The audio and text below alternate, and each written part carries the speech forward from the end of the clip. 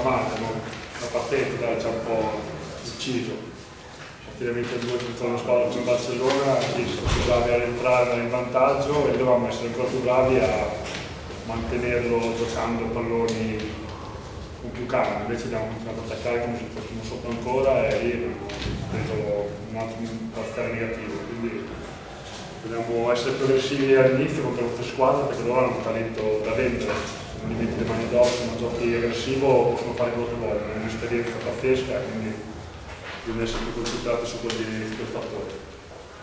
Queste settimane fuori sono state due, Sì, per fortuna i ragazzi eh, si sono comportati bene, diciamo, 4 su 4 di vittorie, quindi sì, ero con un'energia addosso che non, potevo entrare in campo, però dai, vedo così lo stesso. Adesso la spalla? A me dai, sono ancora non al 100%, come normale, però sono contento. Simone, ehm, guardando questi, i risultati di questa settimana senza di te si poteva dire, beh, allora Pierici non serve tanto, no? invece, invece mi sembra che tu oggi hai dimostrato quanto sei importante per questa squadra e mi sembra che tu poteva essere veramente il rientro perfetto se sì. è stato quasi perfetto, quasi perfetto, perfetto esatto. se fosse arrivata anche una vittoria.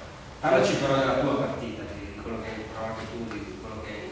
No, già questa settimana avevo sensazioni positive, ero carico come un bambino che doveva andare veramente alla sua prima partita.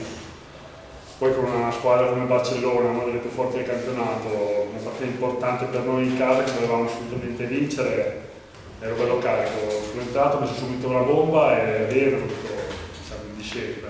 Peccato che alla fine ho fatto due o tre cavolate che tiri sbagliati, dai, ero un po' diciamo. Però... Il coach ha detto che entrare 10 minuti, tu che domina ti senti, alla fine eri sicuramente stanco. Eh, sì, ero stanco, però quando queste partite non senti molto la stanchezza, cioè vai e giochi e lo sentirò domani. Però no, sì, in effetti un po' stanco lo ero, però c'era bisogno perché anche Ferro purtroppo si è fatto male subito all'inizio della partita, quindi servivo e quindi pazienza. Come condizione cosa sei? 50-60% o un po' di più? No, un po' di più dai. Alla fine ho lavorato sempre come preparatore, fuori dal campo, quindi hanno fatto un ottimo lavoro lui e Dionti, quindi sono stati bravi, manca poco, al 100%.